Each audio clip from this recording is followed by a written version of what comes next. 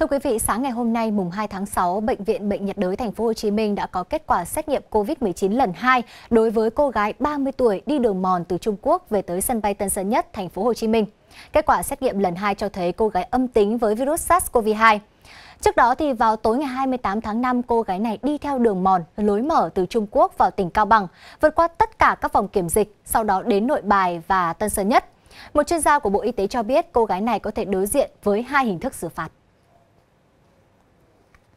Thứ nhất là phạt do nhập cảnh trái phép, mức phạt hành chính với hành vi nhập cảnh trái phép theo quy định trong Nghị định 167-2013 về xử phạt vi phạm hành chính trong lĩnh vực an ninh trật tự xã hội. Việc qua lại biên giới quốc gia mà không làm thủ tục xuất nhập cảnh theo quy định là từ 3 đến 5 triệu đồng.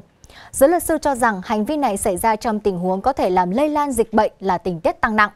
Ngoài ra, Nghị định 176 về xử phạt hành chính trong lĩnh vực y tế quy định trường hợp không khai báo, trốn tránh cách ly y tế bị phạt ở mức là từ 5 đến 10 triệu đồng.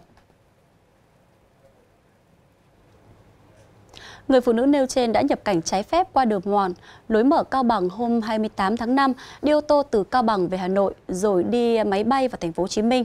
Tại thành phố Hồ Chí Minh, người này bị sốt và được xét nghiệm COVID-19.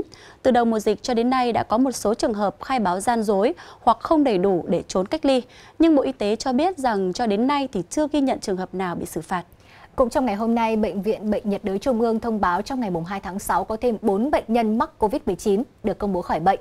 Như vậy là số bệnh nhân COVID-19 khỏi bệnh tại Việt Nam là 297 người, đạt tỷ lệ khỏi 90% trong tổng số 328 trường hợp mắc bệnh.